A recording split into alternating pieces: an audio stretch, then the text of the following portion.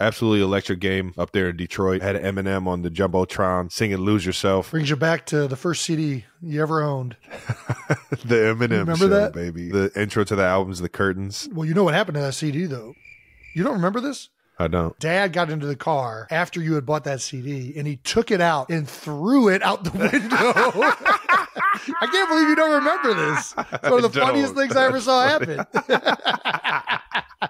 He started hearing some of the words and everything. Hi, kids. You want to watch me exactly. nine-inch He was nails like, through "What my the eyelids?" F- is this? And he threw it right out the window. I remember that like it was yesterday.